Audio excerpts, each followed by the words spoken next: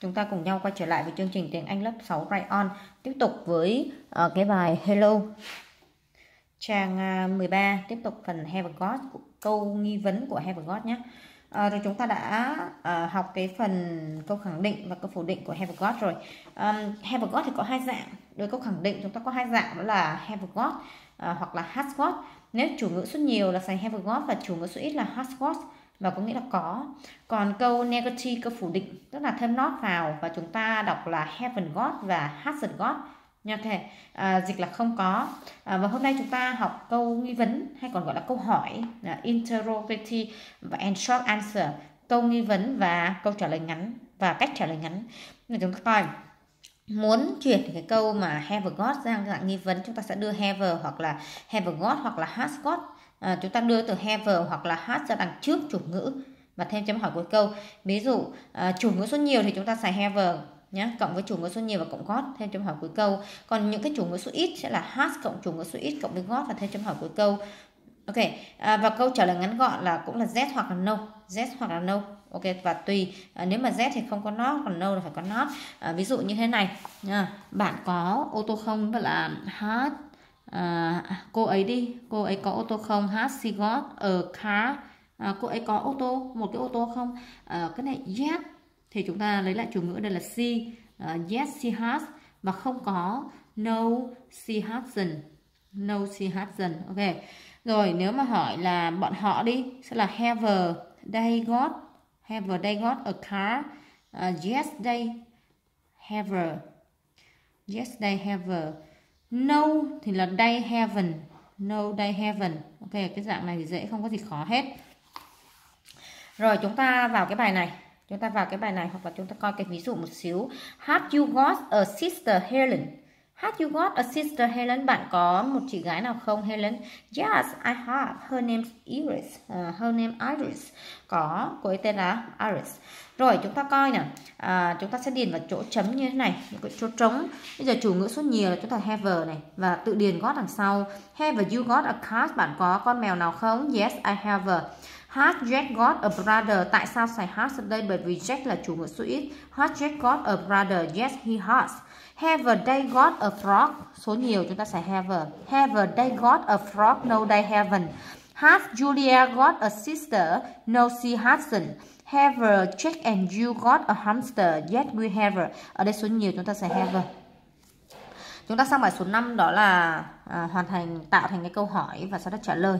Bây giờ bạn này, à, bạn có một gia đình rất là nhiều người phải không lớn. À, phải không? Yes, I have. Này. Have you got a big family? Yes, I have.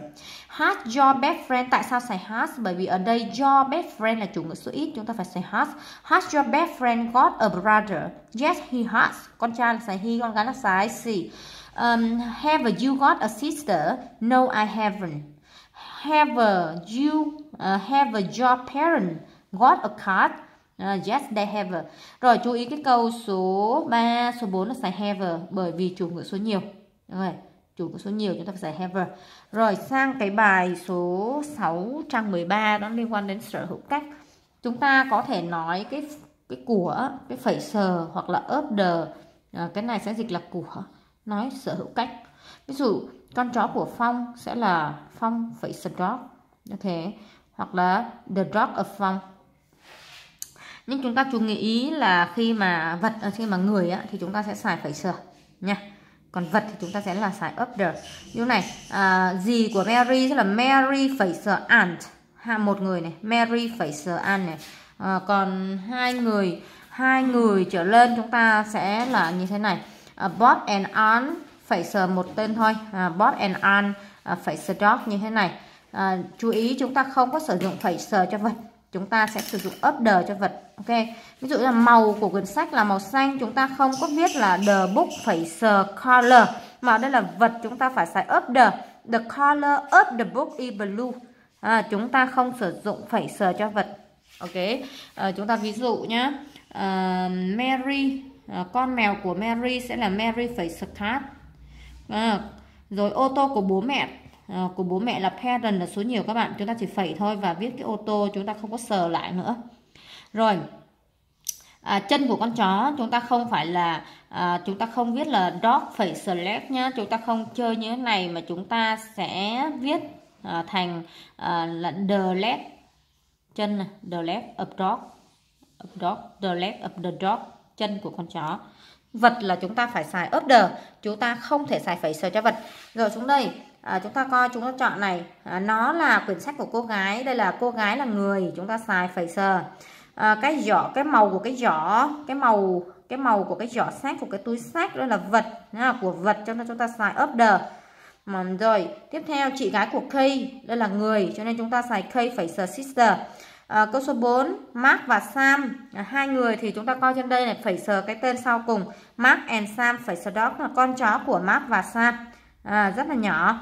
Rồi chúng ta sang cái bài số 7 à, chúng ta chú ý cái từ whose à, cái từ cái từ để hỏi who sờ dùng để hỏi à, để hỏi về sở hữu.